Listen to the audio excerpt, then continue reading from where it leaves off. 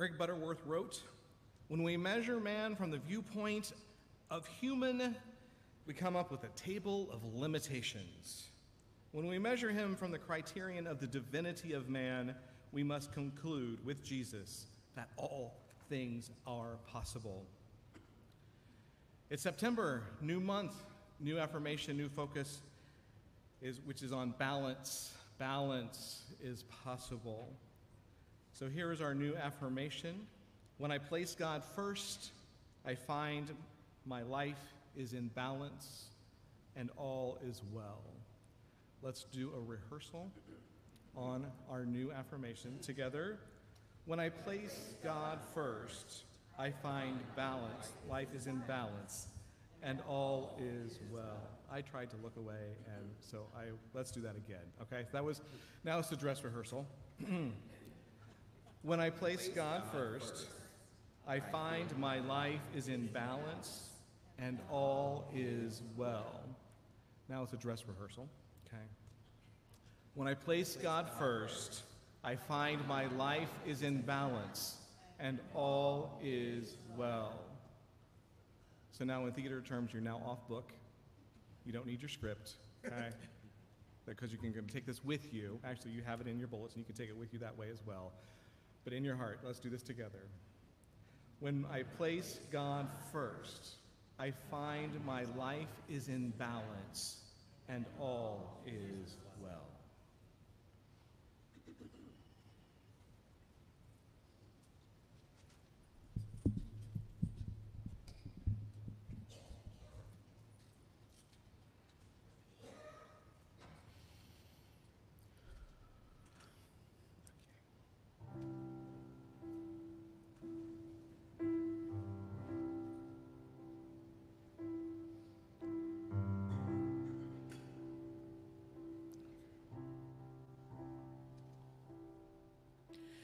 Take a breath, take a seat, take a moment, and just be.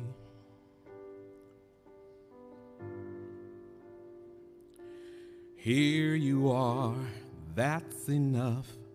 Give yourself permission to unplug.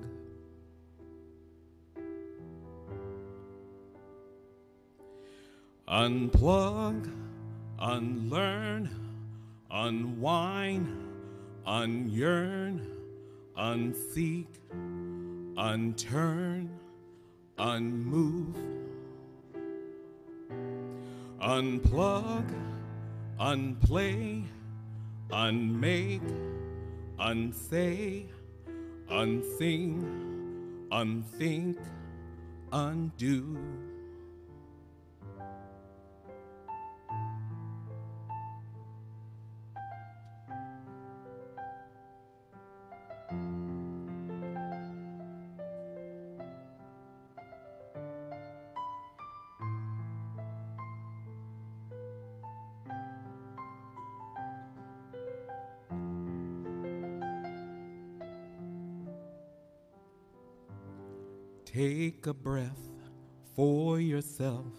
Just for you and no one else.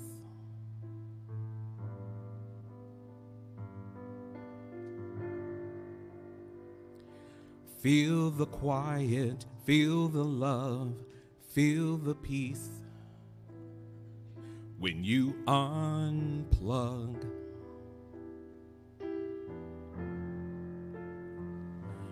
Unplug, unlearn, unwind, unyearn, unturn, unmove, unseek.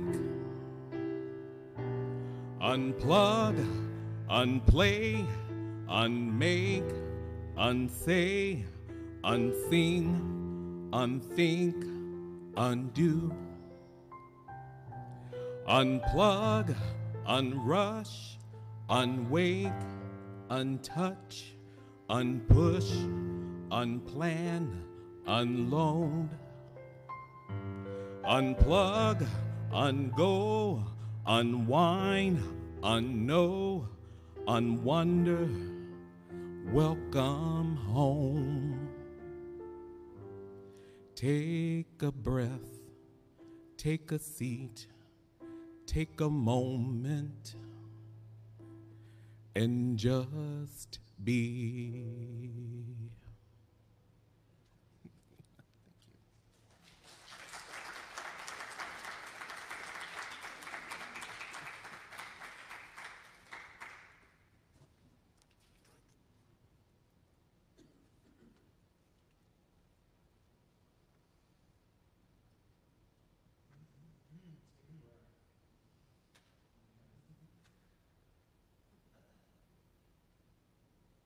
Breath. Take a moment and just be. Thank you, Thomas. Thank you, thank you, thank you. Earlier this week, I sent Thomas a message saying, I'm doing a talk, it's called Time to Unplug. You want to do special music? And he's like, sure. A little bit later, he's like, Daniel Nahmod has this song called Unplugged. I listened to it and I said, let's do it. Take a breath for yourself, just for you, no one else. How often do we give ourselves that luxury? How often do we give ourselves some sacred time? To just be still and in the moment. Before I go any farther, I should introduce myself for those of you who, that don't know me. I'm Reverend Michael Everett Davis. I am ordained as an interfaith minister through One Spirit Interfaith Seminary, and I am serving as spiritual leader here at Unity Indianapolis under special dispensation with Unity Worldwide Ministries. So, as we continue to affirm that in our lives all things are possible, which we've been doing all month, this is the ninth month, though September would tell us it's the seventh month. But it's the ninth month of the year. And we're going to explore that balance is possible when I place God first I find that my life is in balance and all is well. But in our contemporary lives, we, there's so much that we got to do. There's so many things that we need to do. We are getting pulled in all directions. Uh, we see ourselves coming and going. We're juggling multiple things. And then, just as soon as things seem to slow down, something else pops up and needs our immediate attention. It's like a constant game of whack a mole, right? You think, it's like, where is it? I, uh, uh, it won't stop. So, as I was thinking about my life this week, I was like, it's like I'm a fancy vacuum cleaner. Stay with me, okay? So, I'm like this fancy vacuum cleaner. I have one job, that is to suck up dirt. And yet, I have a whole bunch of other attachments. Okay? You can put on that the attachment, that the thin one where you can get into the crevices of, of, the, of the sofa and the chairs or in the corners. Um, there's another one you can put on uh, that's a little bit wider. Maybe you can, you can vacuum the drapes, maybe. Is that what it's for? Yeah. Um, uh, I actually had, uh, I used to have a vacuum that had a fancy attachment on it. You would stick it on there and uh, it would actually spin. It didn't work real well, but it was really cool because uh, you would press down on the couch and then it wouldn't spin. But it was, a, it was a cool thing. It was this fancy attachment. And so then you have all these attachments on your vacuum, and then uh, for whatever reason, you're not really not paying attention, you're vacuuming, and you're just like, this isn't working very well. And I was like, it's because that hose is still, you didn't, forgot to take the attachment off and put the hose back on the thing. So it's sucking in this way, and you're trying to get this way, and it's not doing a very good job. And the next thing you know, you sucked up a sock, or, or the drapes are now stuck in there, or the cat, or whatever.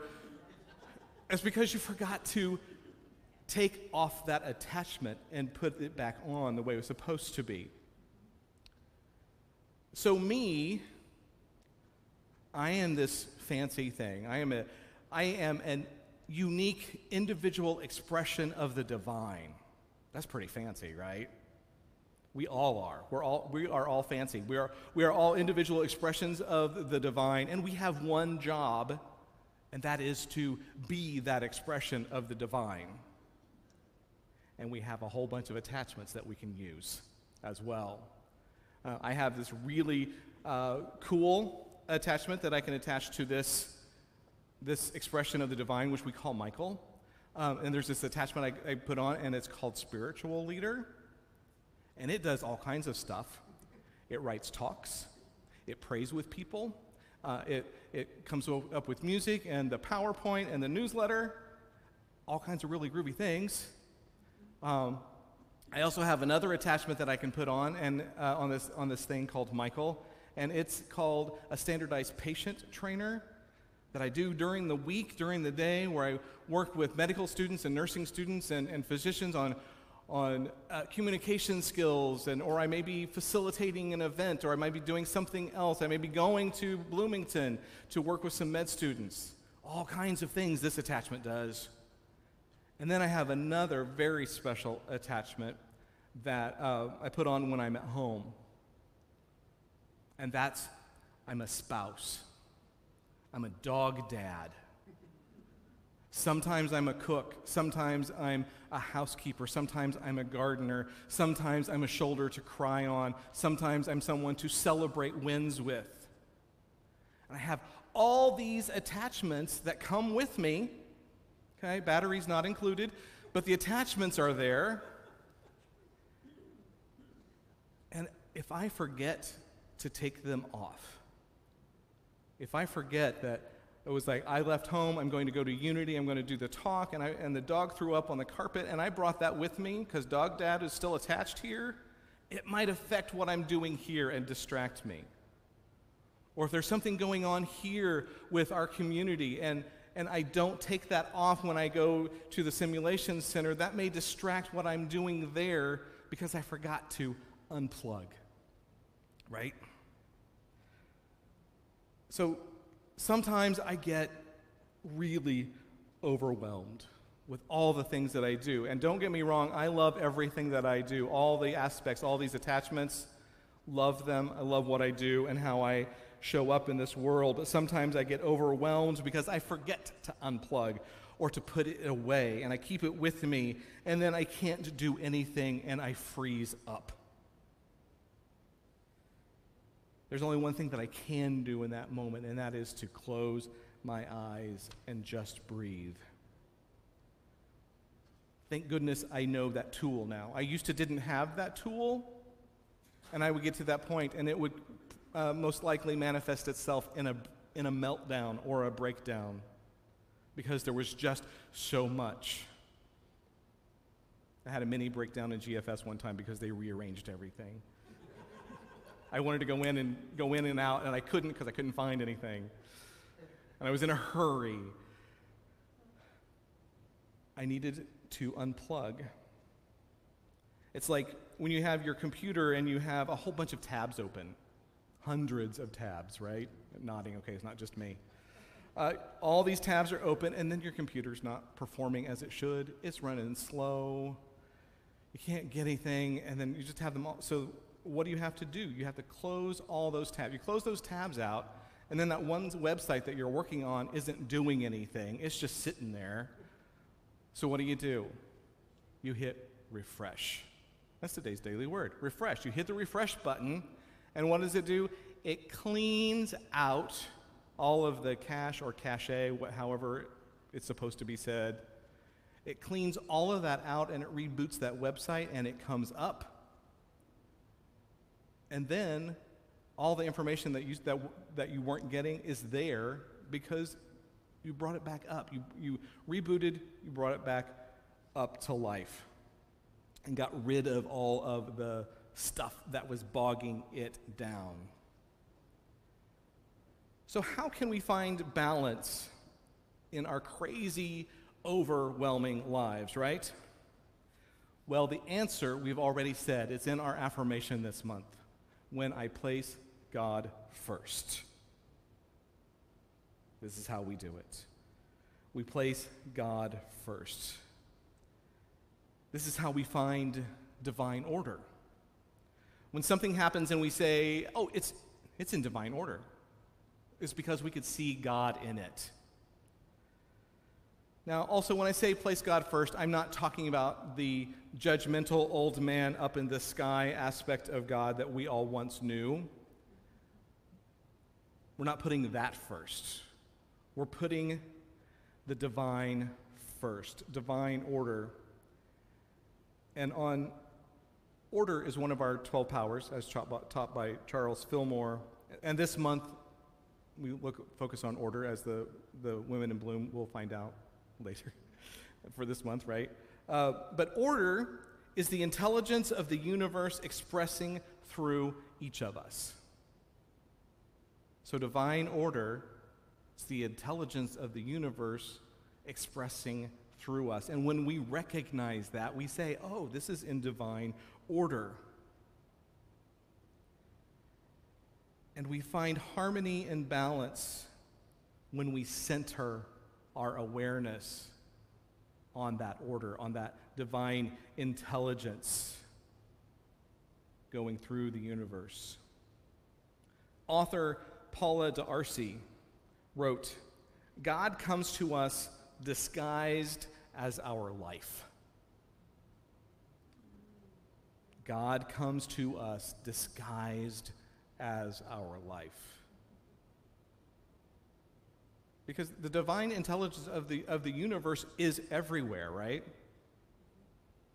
We know it's in each of us, it's around each of us, and it's even way out there where we can't see. It's beyond us. It is there as well, and it is all working toward our good, each of our own good. So when we get stressed out and overwhelmed with everything that we need to do in life, it looks chaotic and crazy, right? Sometimes unmanageable, sometimes life is ugly. But it's not, it's because we are expressing the chaos of the world and not expressing the divine intelligence of the world. When we unplug from all of the world's stuff, all that stuff that we're doing and doing and doing and doing, all those attachments that we have, when we unplug from those and go straight to source, then we are expressing through the divine. So, how do we do this? There's one I'm going to talk about. There's probably many. There's one I'm going to talk about today um, how many of you have heard of these things called commandments? There's 10 of them, right? Um, written on a tablet. Charlton Heston went up, came back. number four. Yes, number four. Remember the Sabbath to keep it holy. Metaphysical meaning of Sabbath. The seventh seventh day, seventh month, seventh year. Restoration, restitution, return to a former state, at one atonement, completion, perfection, wholeness, repose, rest.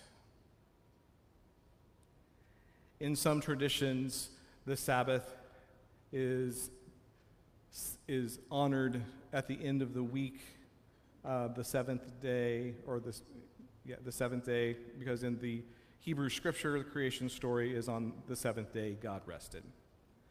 And so that is a, the a normal tradition is on the seventh day, you rest. Well, on the seventh day, you do spiritual practice. You honor the divine. You do that. Uh, Jewish traditions, it starts at sundown on Friday and ends on sundown on Saturday. In, in Christian tradition, then it's Sunday. That's the day you go to church.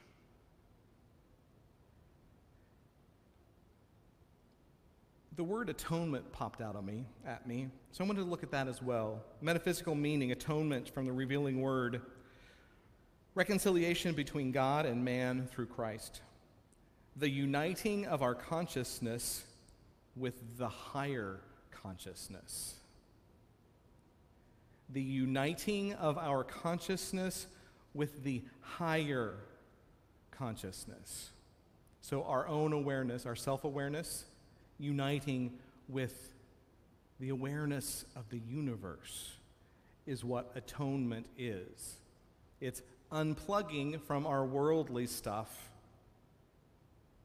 and uniting with spirit. When our lives get so out of whack that we can't seem to know what is going on or to help prevent from getting to that point in the first place, we unplug from the world and we go inside and we align with divine, with the one power, the one presence, the all there is, the intelligence of the universe, uniting our personal awareness with that higher awareness, with the universe. And we return to our at one ment, our perfection through the Christ presence and awareness within, all around, and beyond. We remember the Sabbath to keep it holy. Remember the Sabbath. Remember to connect. That keeps that connection sacred. Now, we may not be able to take an entire 24 hours at the end of a week to devote to the aligning with the divine, but we can take short breaks to remember the Sabbath. Little sacred moments, I like to call them. It's simple pray before each meal,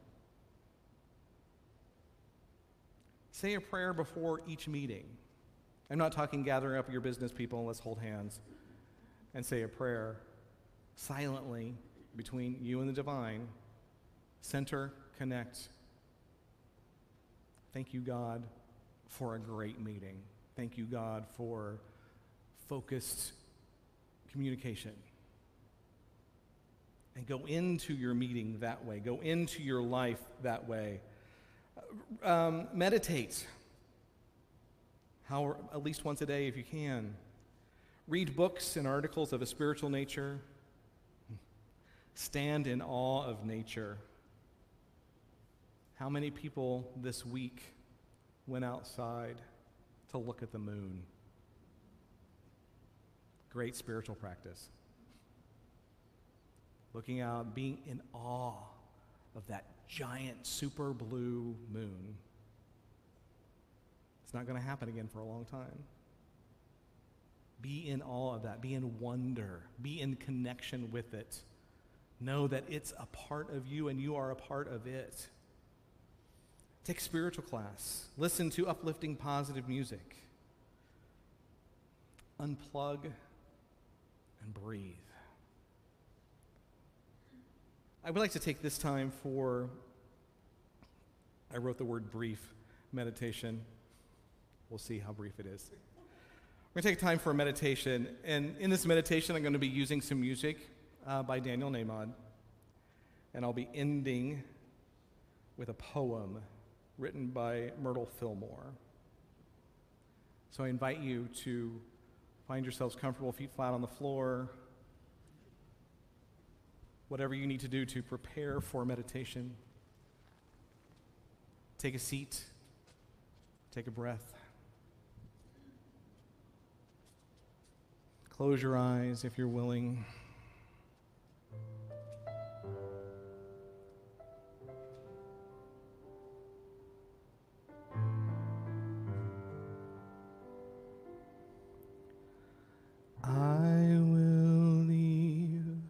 This world as it is, go inside to find my God. I will leave this world as it is, go inside to find my God. I will leave this world as it is, go inside to find my God. I will leave this day as it is, go inside to find my God. Inside there is peace, inside there is joy, inside there is more than enough. Inside there is peace. Inside there is joy. Inside there is sacred love. I will leave this day as it is. Go inside to find my God. I will leave this day as it is. Go inside to find my God. Inside there is peace. Inside there is joy. Inside there is more than enough. Inside there is peace. Inside there is joy. Inside there is sacred love. I will leave this life as it is. Go inside to find my God. I will leave this life as it is. Go inside to find my God. Go inside to find my God. I'll go inside to find my God.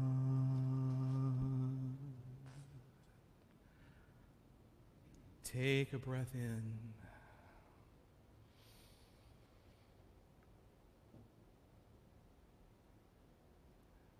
Let that breath out. Take this moment to just be.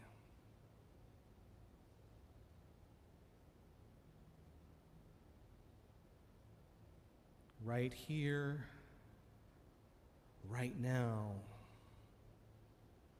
you are enough. Give yourself permission to unplug, to unlearn. Let go of the falseness that you have learned in the past.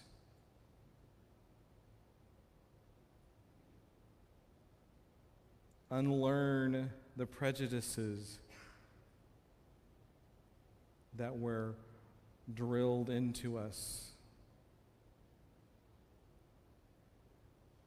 Unlearn, unpack from past hurts.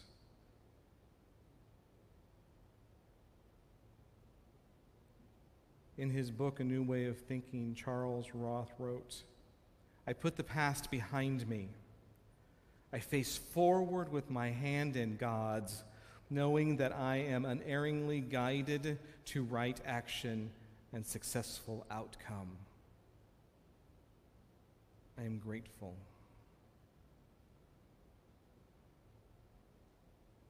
Unplug, unwind, unyearn, let go of the yearning of something you have not reached yet.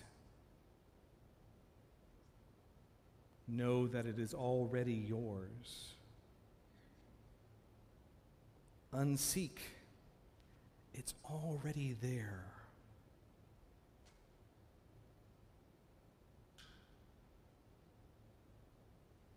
Forgive yourself and unsay those things that you wish you had never said. Let them go. They are washed away.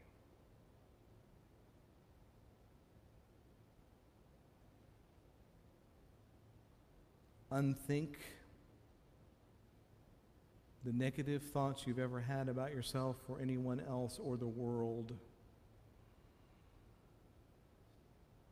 Unplug from that thought. Let it go.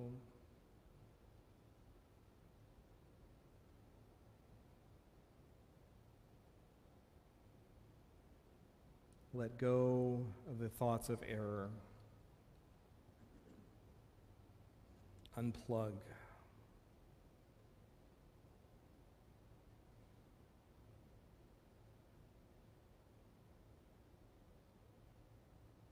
A poem, My Faith, written by Myrtle Fillmore in 1897. I do not believe in evil, I believe in good. I do not believe in sin, I believe in truth. I do not believe in want, I believe in abundance.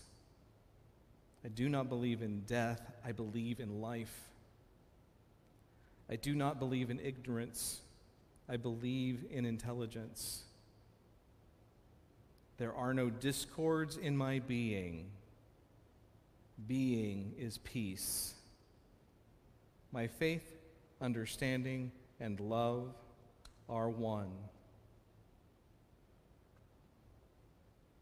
What therefore God hath joined together, let not man put asunder.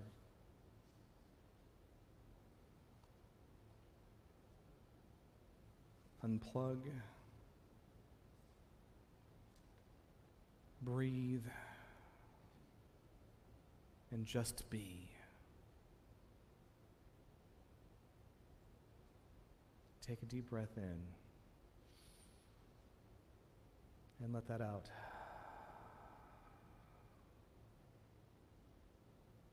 As we come back from this meditation into the room, Remember what this feels like,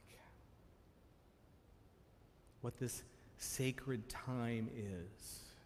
Breathe it in and breathe it out. Holding the sacred time in your heart. And when you're ready, go ahead and open your eyes. Take this sacred moment with you. Carry it in your heart, carry it in your body, this feeling of oneness. Take it with you out into your life and all that you do. When you're done with a task, unplug it, put it away. And whenever you need a sacred moment, just breathe.